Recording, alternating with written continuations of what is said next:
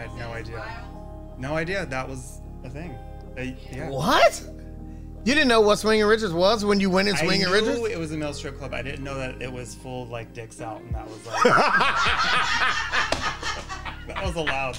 I don't know. But I'm, You didn't know that was allowed? I was in New York. You knew It's there was New York. pussies. You knew there was pussies allowed out, Yeah. but you wasn't ready for dicks to be yeah. swinging. I was shocked. It was yeah, it was great. Was it the allowance of dicks or was it the size of dicks at the time? Both, just like running around all over the place, just at your table, just. it was all of it. All of it was. I don't even know we can talk about this. It's Pride Month. We're good. I'm testing it all. I'm testing TOS and the Pizzle Pack. Fuck this shit. We gonna do everything today, goddammit. Brew, Yeah, this is Bruce Wayne. Brew, you wanna say some racist shit? Let's see how we can fucking.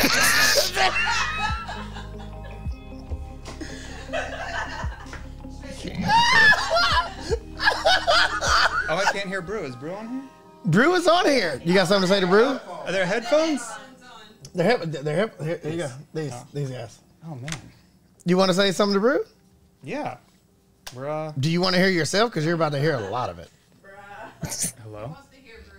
What's up, Gaiden? Oh, what's up, bro? Oh, this is Chilling. It's Nice. weird, isn't it? you. Yeah. Yeah, it's weird. It's crazy. Yeah.